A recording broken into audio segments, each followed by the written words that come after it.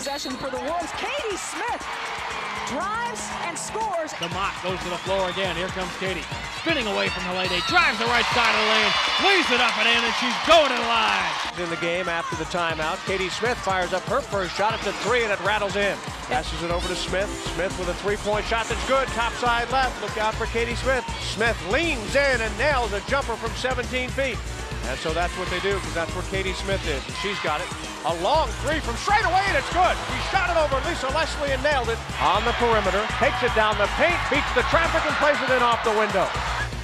But now a WNBA record with 46 points for Katie Smith. And Minnesota comes away with a rebound, trailing by two. Katie with an ankle-breaking crossover takes it strong Katie with Smith!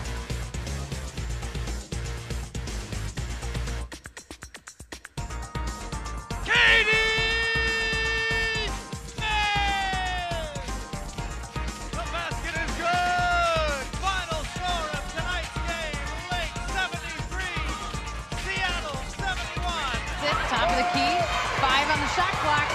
Katie's got to move. Two, one. She throws up a three-pointer. Oh, no way!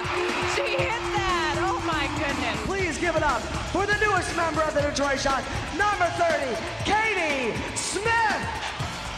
Three for Smith. Got it. Bucket as a shot player is a triple. Inbound to Pierson. Hand off Smith. Here's Smith. Got it up. It's good. She ties it at 69 with 1.3 on the clock.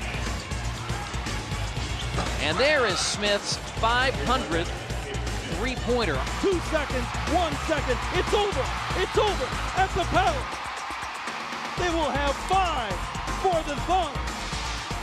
Pierson with the miss. Rebound is grabbed by Katie Smith. Over 4,500 points for Katie Smith. How about that? Offensive rebound. She took care of business early. And somehow they have to get four points in four and a half seconds. Katie gets three in less than two seconds.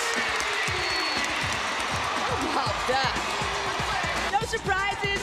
Averaging nearly 22 points a game and seven rebounds. I don't think there's a player who put it more out there this, and made it happen than Katie Smith, the 2008 WNBA Finals MVP.